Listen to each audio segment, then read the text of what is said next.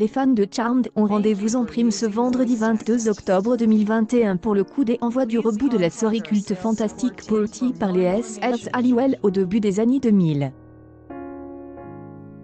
Place à une nouvelle génération de sorcières sur TMC avec les quatre premiers épisodes de la saison inaugurale.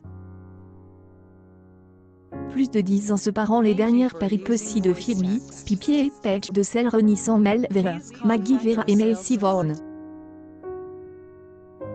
The CW accepte ce pari, une chaîne née de la fusion UPN, The WB, cette dernière ayant diffusé les huit saisons de la série originelle.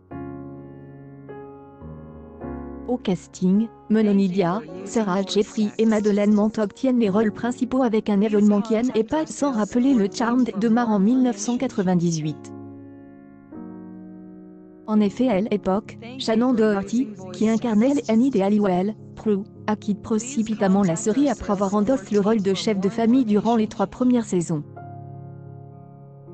Prue morte, les fans avaient spéculé sur l'origine du départ de elle actrice.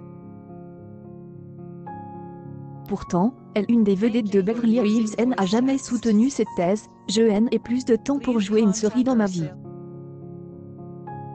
Je veux travailler avec des comédiens vraiment investis et qui veulent être là où ils sont tous les jours. Elle avait aussi tacle ses partenaires de jeu dans un autre extrait, je ne veux pas travailler avec des gens qui se plaignent de leur travail, qui le détestent ou autre chose. Elise Milano, longtemps accusée d'avoir exigé le départ de Shannon Doherty pour ne pas quitter Charmed, n'avait pas nourri la polémique en réagissant au départ de elle actrice, je pense que c'est difficile de revenir de personnalités aussi différentes. Je suis quelqu'un de de contract.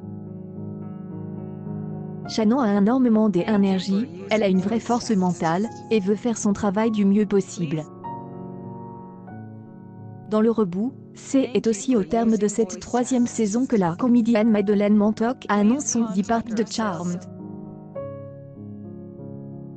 Dans la peau de Annie, elle contraint la production à revoir ses plans et de nicher une nouvelle page pour le déroule de la quatrième saison. La comédienne britannique avait été revenue au début des années 2010 en prêtant ses traits à Scarlett Conway dans Casualty.